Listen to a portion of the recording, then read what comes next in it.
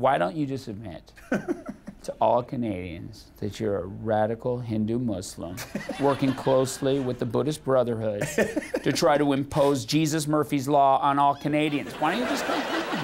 You know what? Uh, you know what? I'll do this today on 22 minutes. I'll come clean. Beautiful.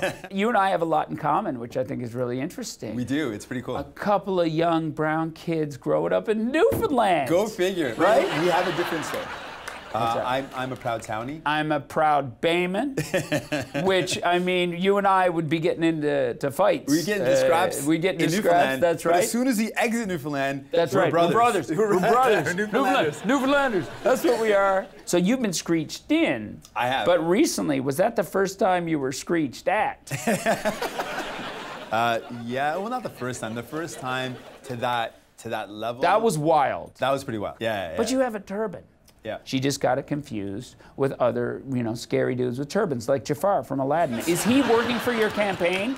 He's Is not. he or not? He's not. Be honest. You have to admit, though, Jagmeet, if Sharia law were a big part of Canadian society, that woman would not have been allowed to come up there and heckle you, right? I always say that the answer can't be that I, I'm not a Muslim, right? Because the answer has always got to be that hate is wrong. I disagree. I disagree. what do you have against hate? You're a sharp dressed man. You're a man with a finger on the pulse. Have you seen the United States? Hate is trending right now. None of this is acceptable. We got to stop it in its tracks. Love and courage. Love and courage. Love and courage, which I started thinking about. Wasn't that the theme song to Married with Children? Love and oh courage. goodness. Love and courage. Oh my goodness, is it really? It is. Jagmeet doesn't want your hate to flourish. You just ruined my entire slogan. The leadership race is now officially closed. Now people are voting. Right.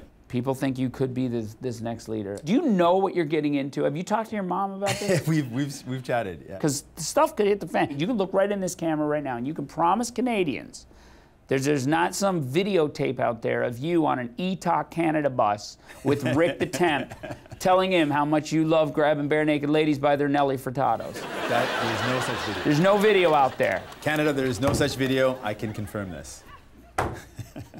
Well, I gotta say to you, man, thank you so much. Good luck with everything. Do not touch me! Do not touch me!